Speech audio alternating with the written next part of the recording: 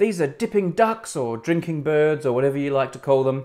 We made a film about them about six years ago. You can still watch that. But today I'd like to look at them in a bit more detail. And in particular, we'd like to use a thermal imaging camera. But first let's have a look at how they're made. As you can see when the felt head's removed, it's essentially just two glass bulbs connected by a tube. But it's important to note the tube extends down here and that the liquid inside is something like dichloromethane, a liquid that evaporates easily. It's normally clear but coloured here so we can see it better. Now because the liquid's so volatile, it means we have quite a bit of vapour in this area. And importantly, that vapour's sealed here in the upper chamber because, as you can see, the tube down here is below the liquid level. Now with the felt head on, and that's also important, we wet the bird's beak and water spreads through the felt, quickly encompassing the whole head. This water then starts evaporating, cooling the head. It's a bit like the bird sweating to keep cool. And that's when things get interesting. Vapour in the upper chamber starts to condense as it cools, and that means the pressure's dropping. Something called the ideal gas law would show with the temperature and amount of gas falling, the pressure falls too. Actually, because of the gas liquid phase transition, this is more accurately described by something called the Clausius Clapeyron relation, but that's not quite so easy to pronounce. You can look into that more later. Anyway, the important thing is the higher pressure down here, where it's not cool, starts forcing liquid up the tube. We can see it. And eventually, due to the toy's design, the bird becomes top heavy and tips over. And now, because of the clever placement of the tube, it's now above the liquid level. The seal between the head and the tail is momentarily broken. Warm gas from below can now force its way up the tube and the liquid drains back down the bottom. Importantly, the pressure's equalised, and because the liquid's drained back down, the toy tips back to the upright position.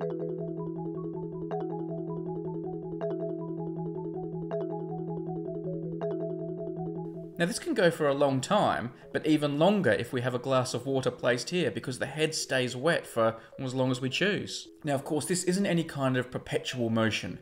Heat is constantly being extracted to keep the water evaporating. But speaking of heat, let's try this another way. Instead of cooling the head, let's use a hairdryer to warm the tail.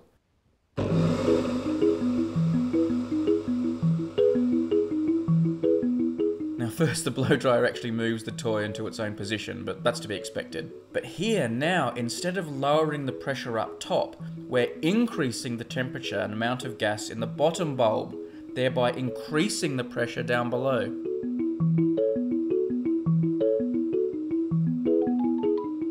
And again, liquid is forced up the neck. And sure enough, this works too.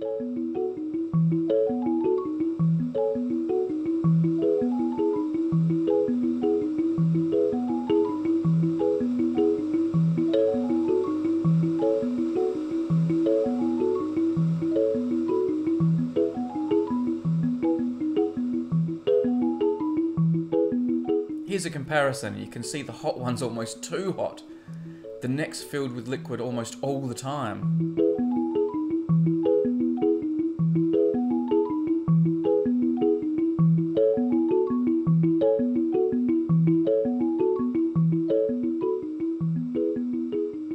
Having done this, I then decided, well, maybe we should try a few other things. First, using this tea light as a source of heat under the bird.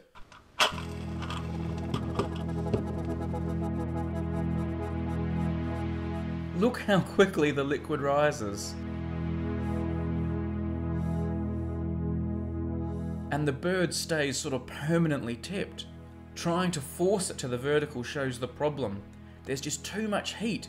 A sort of endless loop of liquid and hot gases being forced up the tube by the high pressure below. Here you can see just how much the lower section's being heated.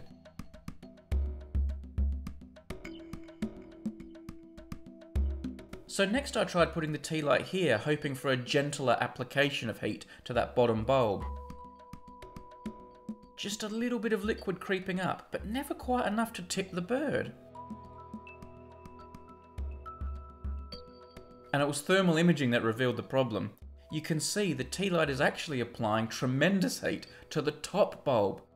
The gas pressure up top is increasing, pressing down on the liquid, exactly what you don't want.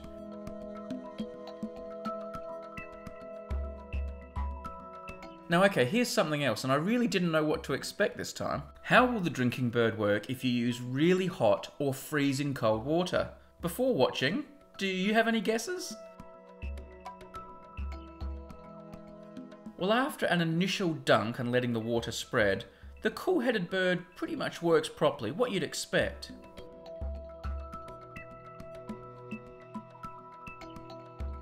But the hot-headed bird, that's more interesting. The heat in the head must be keeping the gas pressure in the top bulb too high, preventing the liquid from being forced up the neck, of course. But watch closely. Evaporative cooling starts to kick in. The temperature drops. The pressure drops. The higher pressure below now does its job, forcing liquid up the neck. The bird starts dipping as it overbalances. It's gradual, and actually, the mere act of dipping puts more heat into the head, stalling the process. You can see it.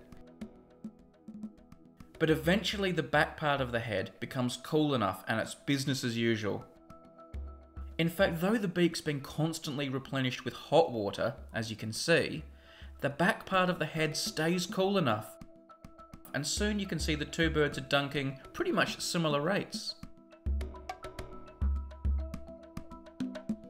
If you'd like to go back and watch our original video with Professor Phil Moriarty about these dipping birds, I'll include a link on the screen and in the description. And thanks to Professor Moriarty for helping me out with this video. And lastly, also a big thanks to Google's Making and Science team. If you'd like to see more films with various YouTubers they've supported, there are also links on the screen and in the description.